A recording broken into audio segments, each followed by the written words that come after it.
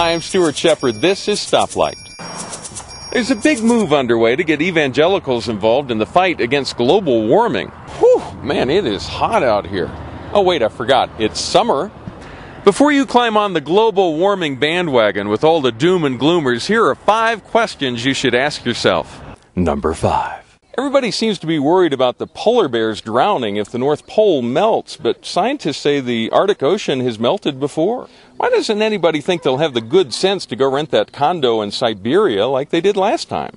Number four. We always hear the temperature is about one degree warmer than it was in 1900, but the global temperature has always gone up and down, warm spells and ice ages. Why should we assume that the temperature in 1900 was normal, or that the era in which we happen to live also happens to be the optimal temperature for the planet to thrive?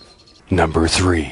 Last year, NBC Nightly News chief science correspondent Bob Bazell did a seriously one sided report about global warming. When Brian Williams asked him about it on the air, Bazell likened skeptics to people who believe the Earth is flat.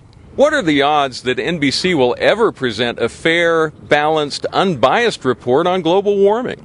Number two. The global climate involves a complex relationship between the sun, the land, and the oceans. If we aren't really all that impressive at predicting the weather, and we have no skill at all at predicting what the sun or the oceans will do, why would anyone claim that we can predict the global climate 50 or 100 years into the future? Number one.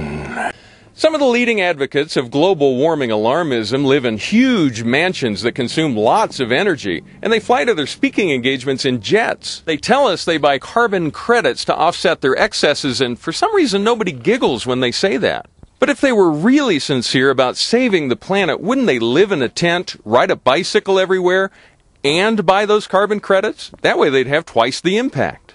Perhaps the Earth would be better off if the people who claim to be carbon neutral were baloney neutral.